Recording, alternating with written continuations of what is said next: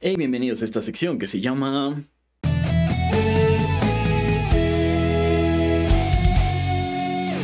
Sí, para los que no conozcan esta sección, pues básicamente tomo un solo, eh, lo toco a la velocidad original y luego voy subiéndolo de 5 en 5 BPM para ver hasta dónde llego. Como ustedes sabrán, yo no me considero tan bueno en la velocidad, así que siento que esto me sirve para practicar y seguir practicando. De hecho, gracias a los videos que he hecho antes de esta sección, ahora he podido tocar esta canción un poco más pues limpia.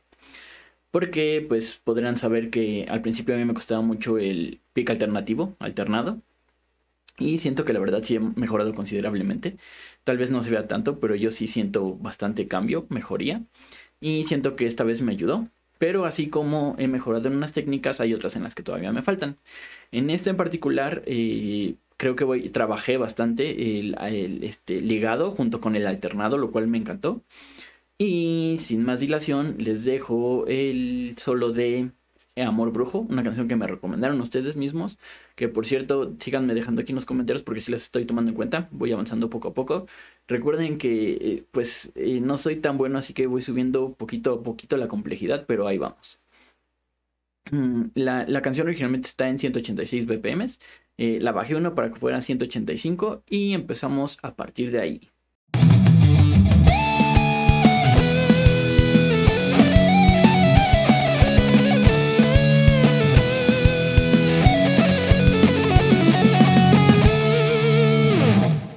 Eh, como, pueden, ver, yo dividí la canción en tres secciones. Eh, el, inicio, todo el inicio está sencillo. Este, de hecho, tiene un ligado junto con el tapping, como podrán verlo. Eh, la segunda sección tiene justamente el pick alternado, que es una mini escala hacia abajo, que siento que no me salió del todo bien, pero les digo, o sea, voy mejorando en esa técnica. Y la tercera parte, que es la que considero que es la realmente complicada en este solo, es una escala pentatónica descendente con alternado y aparte ligado. Entonces tienes que saber muy bien cuándo hacer el alternado, cuándo hacer el ligado y, e irlos combinando, ¿no? Eh, creo que en esta primera toma en particular, que la parte que más me dificulta es la del ligado, siento que me salió muy bien. Y pues vamos a la siguiente, que son 190 BPM.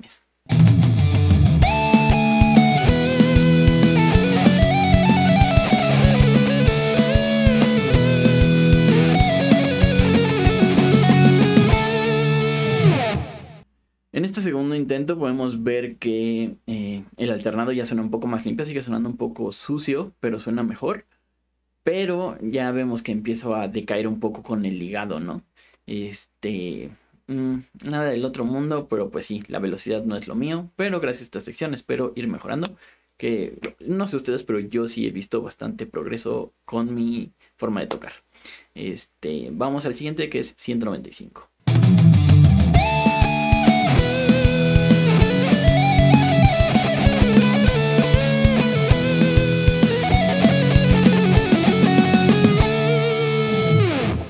Aquí ya vemos que se empiezan a perder un poco las notas. Una en el alternado, ahí sí ya creo que se me fueron dos notas.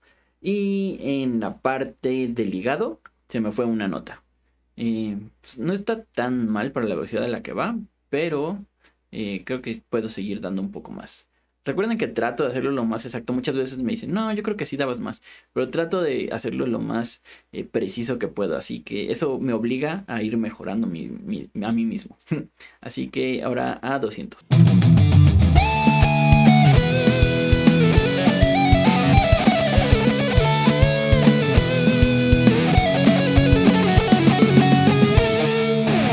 Aquí como podemos ver, pues ya estuve calentando con las primeras dos vueltas, primeras tres.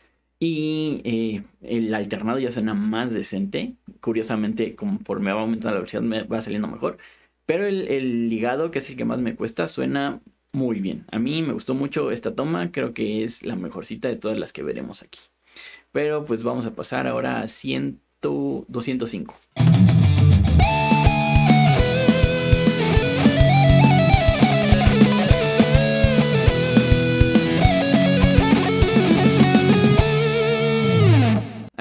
Dos cosas. Desde el primer ligado, o sea, la primera parte ya se empieza a perder. Ya, ahí sí, ya no hay nada que hacer.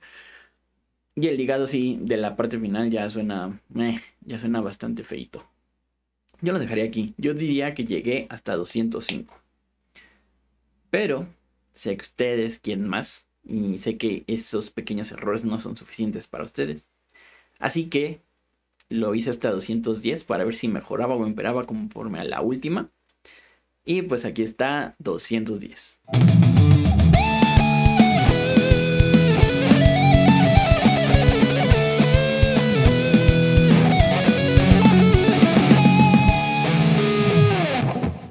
Aquí podemos ver que las primeras dos partes me salieron bastante bien, demasiado bien diría yo para la velocidad a la que iba, pero ya la tercera ya estaba perdida, ya no había nada que hacer.